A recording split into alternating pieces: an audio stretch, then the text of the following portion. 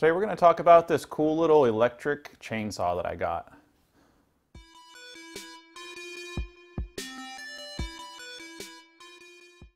This is a Makita XCU 06 and it's a super lightweight little 10 inch chainsaw. And it just takes these little batteries that your normal Makita cordless drill uses. And I think they've been using these 18 volt batteries for a really long time. So there's a ton and ton of tools that use these and it's kind of why I like this because all the other brands seem to be constantly updating their batteries, which in one way is good, but once you've kind of committed, I kind of want to make sure they stick with that battery for a while. But what I've been really liking about this chainsaw, I've been using the heck out of it for the last couple weeks, is it weighs almost nothing. It weighs, we'll just weigh it here on our little scale, but I'm getting about five and a half pounds.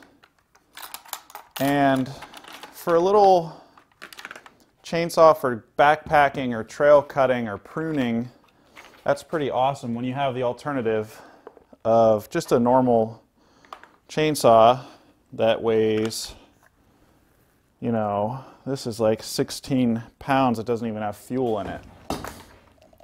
So don't get me wrong. This little chainsaw by no means is going to replace that big chainsaw. If you have any heavy cutting to do, you're going to want a real big chainsaw. But what this is good as is a little pruning saw. It's good at um, doing any limbing, or if you're just taking a walk in the woods and you know you might have a couple tree limbs down here and there, you can knock those out with this without having to lug anything around. You can just put this little plastic cover on pop the battery out and stick it in a backpack or throw it on the back of a bicycle if you're doing any like bike trails. Now, what I found to be good and what I found to be bad about it, it does not have a lot of power. It is not even anywhere close to some of these big saws, but it's also not meant to be. It is just a kind of a limbing saw or a pruning saw. So for what it is, it's probably kind of comparable to those other little saws that are one hand hold. What's cool about it though is if you're just gonna use it around the house, you're just gonna pop it out every six months or something, you don't have to worry about pre-mixing fuel and trying to get it started. You just press a button and then it's ready to go. If you're in a tree, which you shouldn't do unless you're really very well trained in that. It does have a little hook on it to hook a rope to it so you can pull it up. Um, it's got just your standard oil tank for your chain oil. There's really nothing different there than any normal chainsaw and it's got a oil adjustment screw which I haven't found that I've had to mess with at all. It's got a chain brake just like any other saw would have and it's got your standard um, bar chain tension adjustment here. So when you get this little kit, it comes with a little scrench or screwdriver wrench. Here, I'll pop the battery out. It's probably always good to do that when you pop anything off. But I'll just pop this off here. And you see what's underneath. So you've got your bar and your chain. This is a little bit of a Smaller chain than obviously some of the bigger saws, but what's also smaller are the files that you need if you want to sharpen this chain. So this takes a 4.5 millimeter file, um, which again, like the big chainsaw I had, it takes a larger file. So if you have a set of sharpening tools for that, you might just have to grab a different file.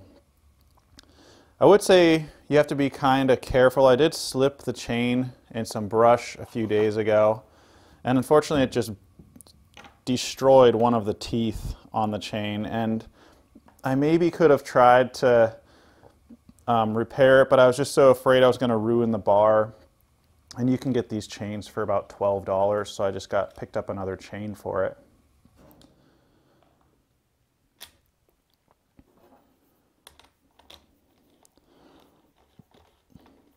Now, like I said, this saw does not have a lot of power. It's really good for if you're taking a walk or you're building a trail. It's not good for going out and cutting firewood all day because one, it's kind of slow at that, and two, the batteries just don't last forever. This is a 5 amp hour, and I've got a 3 amp hour. And you really probably want to get, ideally, maybe two 5 amp hours if you're running a little saw like this, just to make sure that it lasts for a little while. If you don't let the chain do the work on this saw, what happens is um, it'll stall out. So you just have to back up and hit the button again. So if you kind of bear into it at all, it's going to stall out really easy. So that's just something to be aware with, aware of if you're going to buy this little saw. It does have a high torque mode. So if I press this button, this is normal mode. And if you do really want to cut something pretty hardcore, you can hold this button for 10 seconds or something here I actually think you have to turn it off, then hold the button for so many seconds. And you see it goes into yellow mode, and this is high torque mode. So that'll be a little bit, little bit more torque. So if you're cutting some kind of hardwood, a little bit less likely to stall out.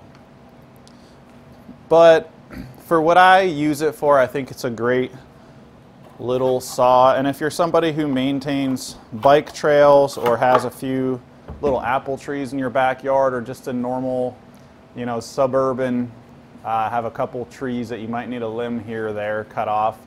Awesome little saw.